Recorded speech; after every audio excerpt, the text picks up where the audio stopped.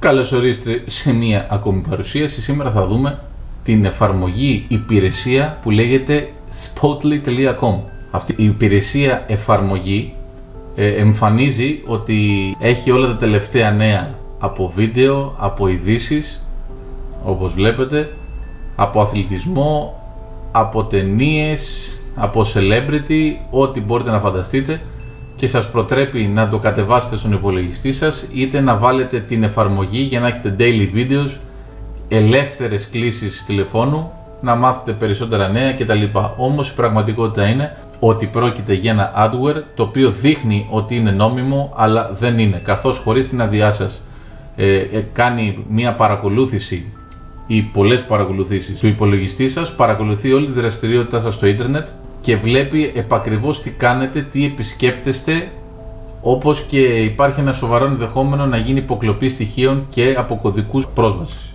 Αφού μπει ύπουλα στον υπολογιστή σας, ε, μπαίνει ως ένα virtual layer το οποίο κάνει ένα ουσιαστικά generate pop-ups, κουπόνια, banners και οτιδήποτε αποδιεφημιστικά μπορείτε να φανταστείτε σε σχήμα γραφικών. Θέλει πολύ μεγάλη προσοχή εφόσον εγκατασταθεί εν αγνία σας και παρατηρήσετε διαφημίσεις που υπάρχουν, είναι σχετικές με το Spoutlet application να ακολουθήσετε μία σειρά βημάτων για να το επεγκαταστήσετε άμεσα καθώς υπάρχει μεγάλο ρίσκο παραβίασης των προσωπικών σας στοιχείων όπως και οποιαδήποτε ενέργεια κάνετε μέσω ίντερνετ. Ε, πολλοί με έχετε ρωτήσει πώς γίνεται και έχει κατασταθεί αυτή η εφαρμογή ενώ εγώ δεν έχω κάνει τίποτα. Μία απάντηση λοιπόν πάνω σε αυτό το κομμάτι.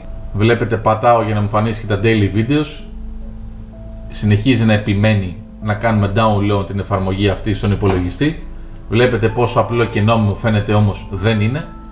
Συνεχίζω λοιπόν γίνεται όταν κάνετε την κατάσταση αρχικό σε ένα πρόγραμμα το οποίο είναι δωρεάν και τρέχετε γρήγορα πατώντας το next, το επόμενο δηλαδή και δεν κοιτάτε πώς, ε, ότι γίνεται εγκατάσταση και της εφαρμογής αυτής ως τρίτο πρόγραμμα. Είναι μια πολύ συνηθισμένη τακτική αυτή στα freeware προγράμματα για να μπορέσουν να βάλουν την υπηρεσία αυτή ύπουλα στον υπολογιστή σας. Θα πηγαίνετε πάντα στο advanced settings στο για προχωρημένους διότι εκεί κυρίως κρύβονται οι υπηρεσίες αυτές και θα ξετικάρετε πάντα τις υπηρεσίες τις οποίες δεν τις γνωρίζετε, δεν ξέρετε τι είναι και φυσικά δεν κατεβάσετε το πρόγραμμα για να βάλετε και άλλες υπηρεσίες. Κατεβάστε το πρόγραμμα της IOBIT Uninstaller την τελευταία έκδοση όπου μπορείτε δωρεάν μέσω της εφαρμογής αυτής Κάντε απεγκατάσταση το πρόγραμμα από εδώ μόλις το βρείτε και μόλις ολοκληρωθεί η διαδικασία θα σας εμφανίσει την ολοκληρωτική απεγκατάσταση για να βγάλετε και τα τελευταία ε, κομμάτια που έχουν μείνει τα οποία δεν τα βρίσκει το control panel. Στο Firefox ελάτε στα πρόσθετα και απεγκαταστήστε στις επεκτάσεις